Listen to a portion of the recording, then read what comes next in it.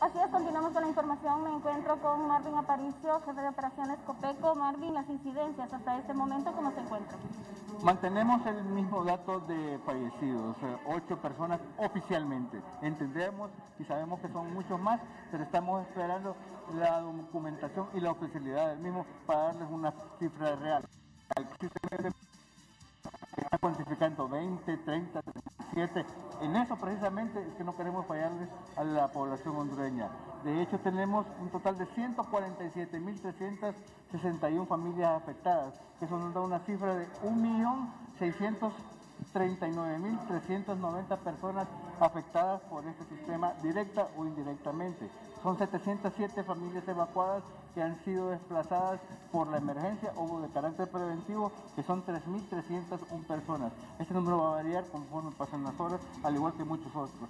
Tenemos 145 albergues habilitados y activados en este momento. Son 1.521 familias albergadas, tenemos un total de 7.000 194 personas alojadas en estos centros. Esta es otra cifra que también va a cambiar en las próximas horas y se va a incrementar mucho más.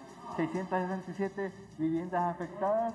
Este, esto significa que a medida de que vayan mejorando las condiciones climatológicas, nuestros técnicos y todos aquellos miembros del sistema que estén certificados con la evaluación de daños y análisis de necesidades EDAN nos cuantifiquen y nos envíen esa información, ese número vamos a ver una cifra mucho más real. Tenemos 86 tramos carreteros que están, han sido destruidos o han colapsado por este sistema y 20 puentes destruidos totalmente. Hay 63 comunidades incomunicadas con un número pendiente de confirmar de familias que, que están aisladas en este momento por este circuito. Siempre continúa la alerta roja a nivel nacional por carácter indefinido. El hecho que haya pasado y haya salido del territorio nacional ETA no significa que hay que bajar la guardia. Seguimos trabajando, seguiremos trabajando y seguiremos recabando la información y los datos que sean necesarios. ¿De dónde se reportan estas personas fallecidas? La gran mayoría son del departamento de Atlántida,